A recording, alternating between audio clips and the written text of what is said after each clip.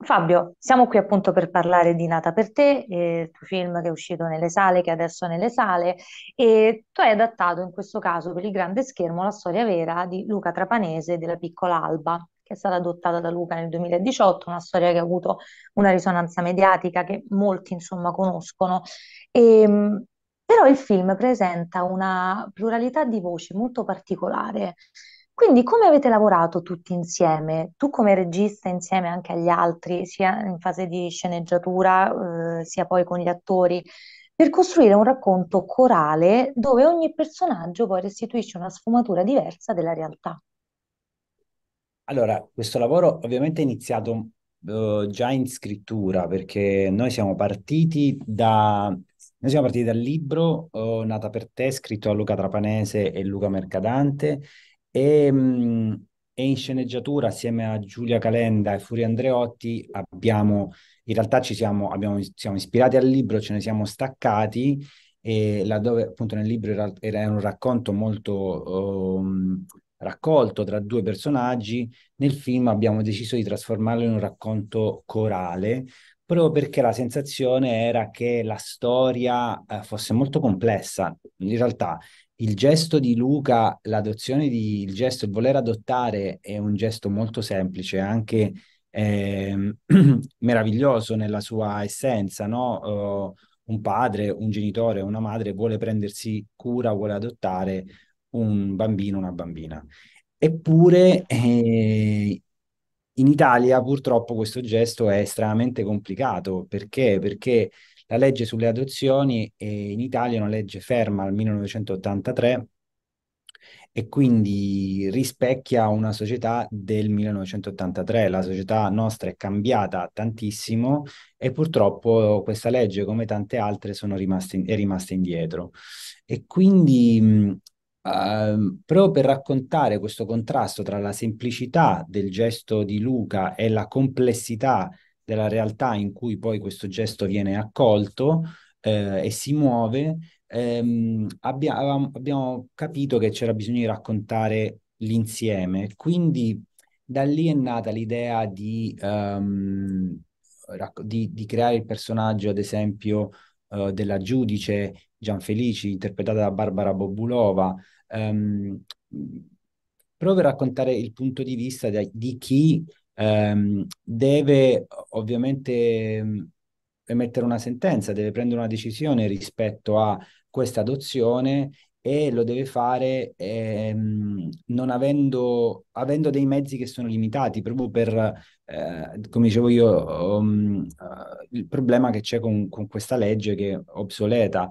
E quindi eh, la decisione che lei deve prendere è estremamente complessa e la raccontiamo non la giudice nel film non è la nemica di Luca, non è l'antagonista della storia, ma anzi è un personaggio che ehm, nel prendere questa decisione lo deve fare con i pochi mezzi che ha e anche nel modo più asettico possibile perché è quello che richiede il suo ruolo. Ehm, sapendo che poi appunto andrà a mettere una sentenza, una decisione epocale, come quella che è stata appunto quella che ha portato a questa adozione. E da lì anche l'idea di raccontare il personaggio di Teresa Saponangelo, ovvero l'avvocata che affianca Luca Trapanese in questo percorso. Uh, personaggio che appunto non c'era neanche, anche questo non c'era nel libro. Luca ha fatto molto uh, da solo in un certo senso, eh, però abbiamo creato questo personaggio proprio perché ci serviva a raccontare che non essendoci un percorso legale eh, da seguire proprio perché l'adozione per i single non esiste e neanche per le coppie omosessuali, ehm, volevamo, raccon- volevamo provare a, a, esplorare appunto i meandri eh, in cui, che devono essere percorsi per arrivare a questa adozione, eh, a questa grande eccezione che è l'adozione. E poi questo personaggio ehm, a cui tengo tanto anche perché è un personaggio che viene dalla periferia, che anche lei madre single, che quindi deve conciliare lavoro e genitorialità eh, nell'essere single e che ha scelto un lavoro in cui se vieni dalla periferia, eh, insomma, devi sgomitare anche un po' di più. E quindi mi piaceva e, e lei, tra l'altro, anziché scegliere i casi facili, in un certo senso se esistono i casi facili, sceglie addirittura i casi, quelli impossibili. E mi ci rivedo un po' io in questo personaggio in un certo senso. E quindi Ehm, è un personaggio in cui ho, ho- ho inserito tanto anche del mio punto di vista su questa storia. E poi per concludere, il personaggio dell'infermiera interpretata da Antonia Truppo, che è la donna che dà il nome ad Alba quando è appena nata ed è un gesto semplice che, che si trova un po' che deve fare perché se non lo fa lei non lo fa nessun altro. E, però è un gesto carico non solo dal punto di vista simbolico ma anche affettivo e fondamentale. E Antonia Truppo appunto eh, fa tutte queste cose secondo me, no? Fa, dà questa importanza a questo ruolo proprio per, per la carica simbolica ed emotiva. E poi la madre di, di Luca Traponese, interpretata da eh, Yaya Forte, che ovviamente è quel lato eh, in, diciamo familiare ehm, della storia di Luca, che poi potrebbe sembrare anche un po' lo sguardo di tutti noi, no? Che eh, in un certo senso ehm, capiamo la sto- il percorso di Luca, ma anche facciamo anche un po' fatica a stargli dietro perché, perché Luca Trapanese nel suo, nel suo percorso di vita proprio è un uomo, come dico sempre, che sembra venuto un po' dal futuro a dirci come saranno un giorno le cose. Quindi noi del presente dobbiamo un po' inseguirlo per stargli appresso. E, mm, mi viene in mente, mi ricollego subito allora a un'altra domanda che volevo farti, visto che hai detto sembra un po' un uomo del futuro, no? Ehm, No, quando Luca è l'uomo, l'uomo è Lu- Luca è l'uomo del Sì, futuro. sì, Luca che sembra un po' un uomo, del- un uomo venuto dal futuro. Eh, allora, quando ci fu lo sbarco sulla Luna, fu pronunciata appunto la famosa frase, eh, un piccolo passo per l'uomo, un grande passo per l'umanità. Nel film si parla di arrivare su Marte un pezzo alla volta, c'è questa bellissima metafora. Quanto secondo te, nata per te, scusa la ripetizione, rappresenta un piccolo passo per il nostro cinema e un grande passo per l'intera società? Bella domanda. In questo momento ti direi, di- aiutami a capirlo. Guarda, io, io mi, quello che mi auguro io, allora, quello che ti posso dire è che era nel mio percorso cinematografico, ho sempre cercato di fare delle storie che, come dicevo prima, appunto un po' come Teresa nel film, le storie non facili, ma storie impossibili. E, e devo dirti che negli anni è stato anche impossibile farle, nel senso che tante volte eh, ho preso porta in faccia. E, mh, Nata per te, per me è una grandissima festa. Ora, quest'anno sono dieci anni di- di- di- dal mio primo film, quindi è una bellissima festa perché, perché finalmente si può parlare, si fa un film in cui si può parlare di queste cose, si può parlare di questi temi e lo si può fare al grande pubblico. E questa è la cosa che mi rende molto orgoglioso perché il film è stato prodotto da Catleya, e, a- che ringrazio tantissimo, e distribuito da Vision, distribuito in tantissime sale. E questo è un bellissimo segno ehm, che va, secondo me, incoraggiato. Quindi colgo l'occasione anche per fare un appello.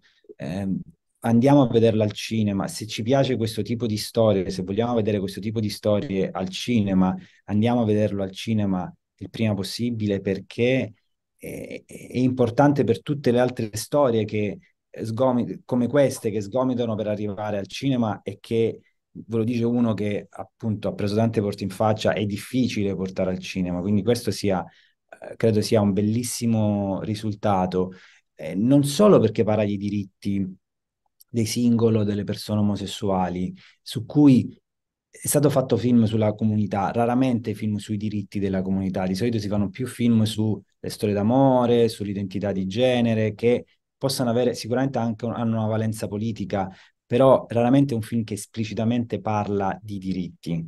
Io mi ricordo quando abbiamo fatto la scena in cui Teresa Saponangelo dice, cioè la giu- l'avvocata dice alla giudice è assurdo vivere in un paese che non consente ai singoli omosessuali di adottare, io mi sono messa a piangere, ho pensato, sono anni che spero che un personaggio di un film italiano dica una frase del genere e finalmente ce l'abbiamo fatta, quindi per me, io, non è Marte, però diciamo so- mi sento un po' lanciato nello spazio verso un pianeta, vediamo quale pianeta sarà.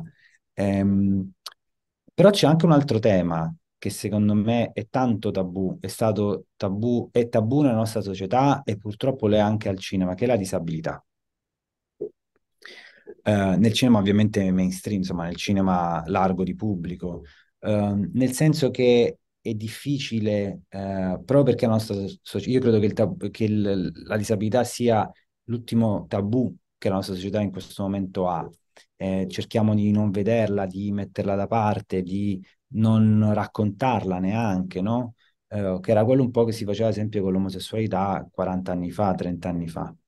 Ehm, e nel cinema, quando si parla di, nel cinema, diciamo, largo, quando si parla di disabilità, si tende a edulcorarla, si tende a renderla, ehm, uh, come dire, il più vicino a, alla non disabilità, in un certo senso.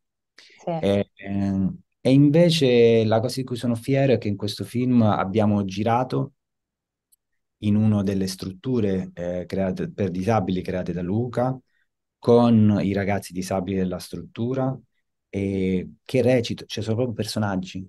E, e questo per me è stato un motivo di grande orgoglio. Per me dirigere Raffaele, che nel film interpreta il miglior amico di Luca ed è uno dei ragazzi disabili del centro, dal punto di vista registico mi ha inorgoglito perché ho detto che bello, non abbiamo chiamato un attore gli abbiamo detto di interpretare una persona disabile, ma è una persona disabile che interpreta il personaggio di una persona disabile e che quindi in un certo senso può dare voce a, a cosa vuol dire eh, la, essere una persona disabile in questo paese oggi. E, e proprio l'altro giorno, la prima, la prima proiezione di uscita l'abbiamo fatta a Napoli e c'erano i ragazzi di A Ruota Libera, del, del centro dove abbiamo girato, tra cui anche Raffaele, Roberto, tutti quanti.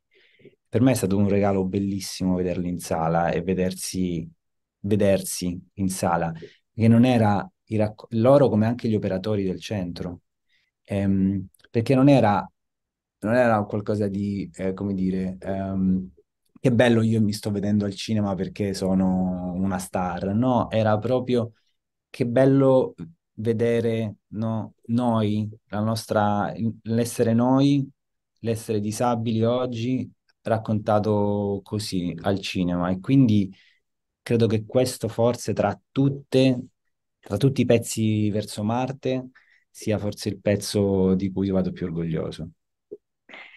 A proposito delle proiezioni, tu stai portando il film in tour, potremmo dire, proprio per tutta l'Italia, in varie sale. Qual è l'accoglienza del pubblico? Cioè, qual è il polso della situazione della sala viva e del pubblico come sta accogliendo il film? Allora, eh, eh, ci, pensa, ci riflettevo proprio stamattina perché ehm, diciamo che il film è uscito l'altro ieri, quindi ieri abbiamo fatto questa proiezione a Napoli in cui in realtà mi sono molto concentrato su quello, sui ragazzi del centro, dei ragazzi della Ruota Libera. E ieri invece abbiamo presentato il film in tre sale di Napoli molto diverse un cinema a Bagnoli eh, dove c'è un circolo del cinema molto ricco, eh, la, la, Perla, un multisala The Space e un, il modernissimo in centro. Tre pubblici quindi molto diversi tra loro. E sono state tre presentazioni molto diverse. Um, in generale, quello che mi colpisce è l'impatto emotivo e di cui sono molto contento, un impatto emotivo che c'è in modo anche trasversale. La grande sorpresa sono gli uomini eterosessuali, che sono molto, molto emotivamente colpiti dal film, perché parla di paternità e la paternità è qualcosa, anche quella poco raccontata al cinema, se raccontata, raccontata in un determinato modo. No? Purtroppo nostro, questo, l'Italia è un paese di madri, in un certo senso, raramente un paese di... cioè la mamma ce n'è una sola, si dice in Italia, ma di padre, insomma, non si racconta più di tanto. E quindi... Eh, beh, cioè, ho visto veramente un impatto su degli uomini molto forte, in modo trasversale rispetto anche alla classe sociale, provenienza, eccetera. Però invece, invece mi ha colpito tanto l'impatto emotivo ovviamente che ha Luca, la storia di Luca in modo generale, anche generazionale, ma i dibattiti dopo sono stati interessanti, cioè le domande, um, perché anche lì uh, rispetto alle uh, tre sale, in modo uniforme c'era voglia, c'era questo senso di è importante in questo momento raccontare queste cose in Italia, questo film dobbiamo vederlo tutti, dobbiamo- devono vederlo i ragazzi, portiamolo nelle scuole. Ehm, apprezzato il lavoro fatto, diciamo, in modo quasi documentaristico sulla disabilità, quindi questa verità in un certo senso. Però devo dire anche una cosa, che in sala oltre al rumore di fazzolettini che sento a un certo punto e che è molto emozionante, eh, sono anche le risate che a me piacciono tanto. Ci sono, ci sono momenti del film che sono vari nel film, eh, in cui, e come ha capito sono gli appuntamenti fissi, in cui la gente, la sala proprio ride, ma ride tutta. E, e quello è molto bello perché non è una storia, non volevamo fare una storia pesante, nel senso una storia cupa, triste, no? Io sono abituato a fare quei, tri- quei film, cioè il mio primo film, Il Sud e Niente, era un film di una tristezza infinita. E invece mh, è, è proprio bello, ah, mi piace il suono di quelle risate perché e, e ridono, c'è una risata proprio veramente collettiva, che non soltanto, non è soltanto di leggerezza, ma anche un po' liberatoria, cioè del dire che bello che è successa questa storia veramente. Nata per te, alla fine è una grandissima storia d'amore, potremmo dire, di tutti i generi che può affrontare o che può ricordare, è una grandissima storia d'amore. Pur partendo quindi da una vicenda particolare e vera, una storia vera, secondo te riesce alla luce di tutto questo che ci siamo detti a intercettare delle corde emotive collettive, a raccontare quindi qualcosa di universale? Allora, ehm, credo che la forza della storia di Luca Alba vera, cioè quello, e poi quello che fa Luca, che fanno Luca Alba sui social quotidianamente, sia, abbia a che fare proprio con questo, cioè col fatto che al di là del, di religioni, credi- credo politici o di orientamenti sessuali, di genere, o se credere o meno nella famiglia tradizionale, eccetera. Io credo che quello che arrivi della storia di Luca e Alba, eh, la storia vera, è proprio questo, questo fatto che la vita è più forte, la vita e quindi l'amore, è più forte di tutte queste sovrastrutture. E, e quindi ritrovo, ho ritrovato negli anni, cioè da- dall'anno scorso quando abbiamo iniziato a lavorare nel- al film fino ad oggi, tante persone che appunto appartengono a tutte queste sfere diverse, eppure riconoscono questa forza della vita. E quindi io credo di sì, personalmente credo di sì. Ehm, se questa cosa poi corrisponde anche a, mm, al- alla percezio- alla percezione del film, è quello che mi auguro, perché l'intenzione era proprio quella.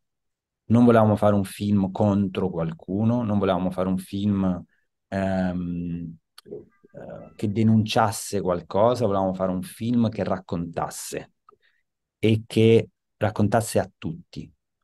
Eh, non lo dico per populismo, lo dico veramente perché forse chi deve ascoltare questa storia è più chi ehm, pensa che esiste un distinguo tra le persone, esiste un distinguo tra le famiglie, esiste un distinguo tra chi può avere dei diritti e chi no. E, e quello che mi auguro è che siano proprio queste persone a vedere il film.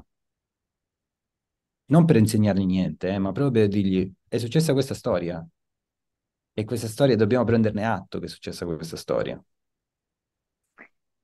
Allora mi collego a questo discorso in parte con la prossima domanda, perché Sì. Riguarda un po' il coraggio della nostra industria audiovisiva. Secondo te dovrebbe avere più coraggio nel pescare dalla realtà, per raccontare non solo l'oggi, ma anche per raccontare nuove storie? E mi ricollego anche a quel discorso che facevi prima sulla rappresentatività sullo schermo, quindi per mostrare una porzione sempre più ampia della realtà, della società in cui viviamo. Da morire. Io, io sono cresciuto, allora io vengo dalle palazzine popolari di Reggio Calabria. Per me il cinema, il cinema mi ha insegnato la vita, mi ha insegnato ad essere l'uomo che sono diventato e che continuo a diventare, mi ha insegnato a, a guardare, a scoprire le cose, a, a conoscerle a- e anche a intravedere un po' il futuro in un certo senso, no? A conoscere il passato anche. Mi ha insegnato tutto praticamente.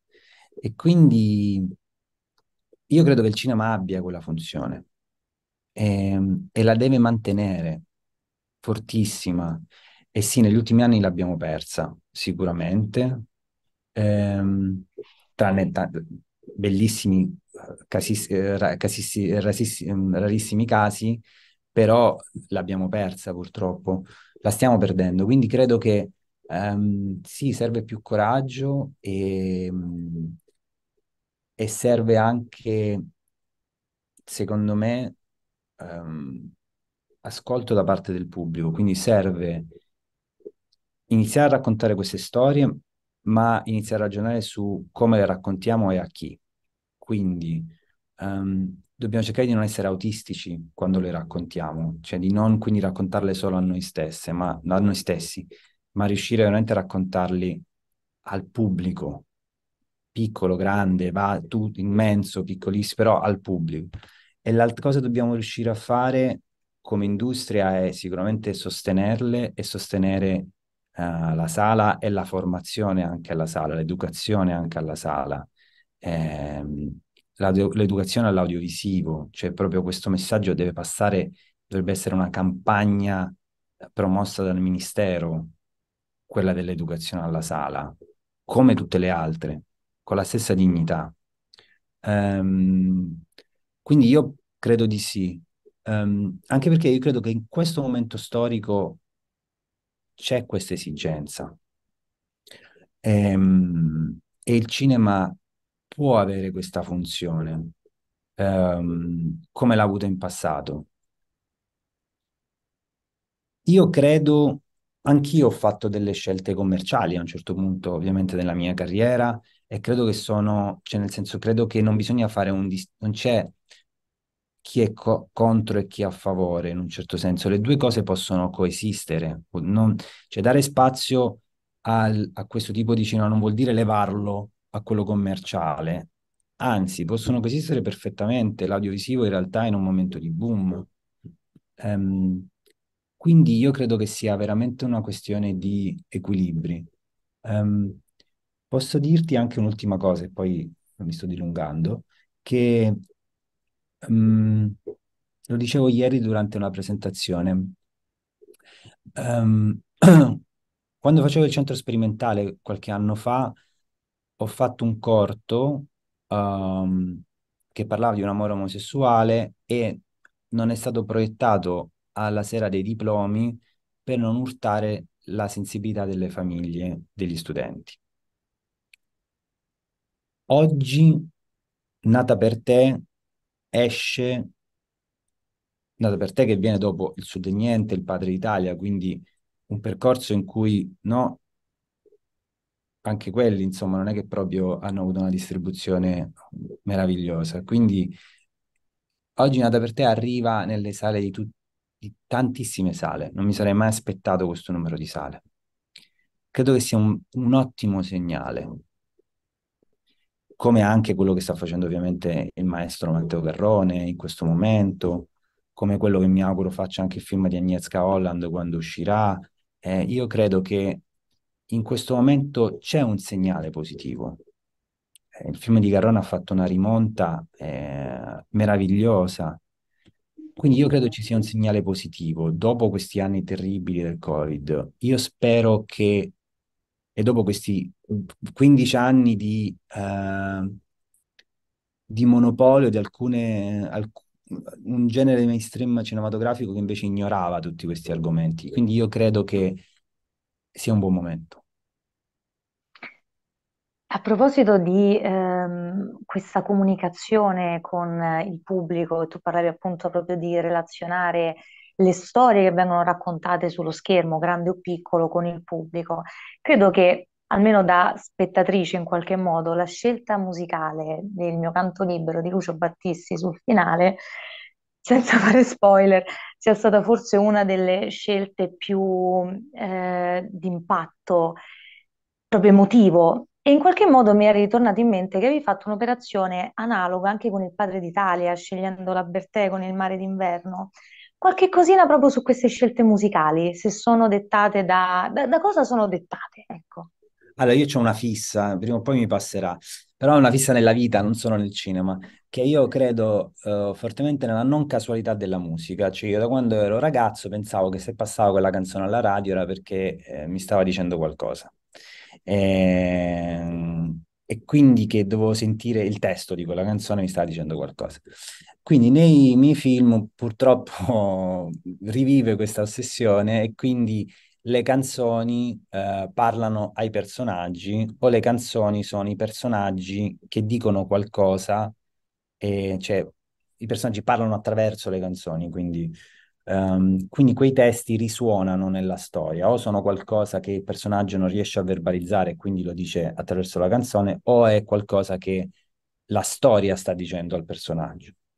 Ma è così anche un po' in tutti. Um, nel Sud e Niente l'unica sequenza musicale è, è una canzone dei Junior Boys eh, che racconta l'esploit di vita del personaggio in quel momento. Nel Padre d'Italia c'è il mare d'inverno, eh, che, che un, un, introverso Luca Marinelli, eh, ovvero Paolo, eh, sussurra per raccontare che, che la sua lacolica, laconica solitudine e, mh, mm, e anche in My Soul Summer, eh, addirittura lì è un po' un'apoteosi perché il personaggio interpretata da Casa di Lego di fatto ha, usa la musica proprio per eh, raccontare se stessa più volte nel film, fino alla fine.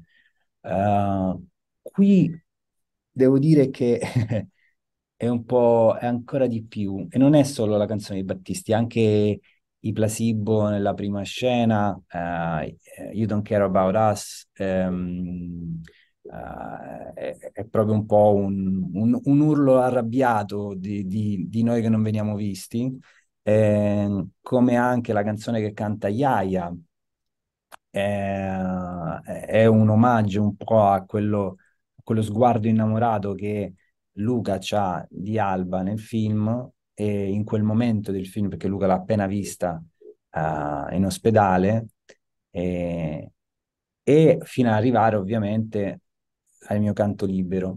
Um, volevo, per, ci siamo ossessionati a cercare quale fosse la canzone giusta, ovviamente quale fosse quindi il testo che Luca potesse cantare ad Alba per quella ninna nanna.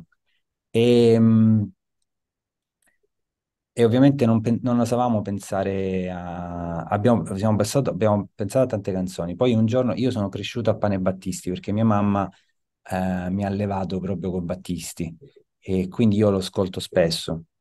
E quel giorno all'interno stavo andando a Napoli, stavo nella mia playlist battistiana e a un certo punto mi imbatto nel mio canto libero e, e, e dico, ma sembra scritta da Luca per Alba e dico, lo dico ai produttori sapendo che non, che non ce l'avrebbero mai data perché non è stato, cioè, non viene mai data una canzone di Battisti per i film. E, e invece ce l'hanno data, cioè abbiamo permesso di sincronizzarla e mi fa piacere pensare che sia stato fatto per Luca e Alba.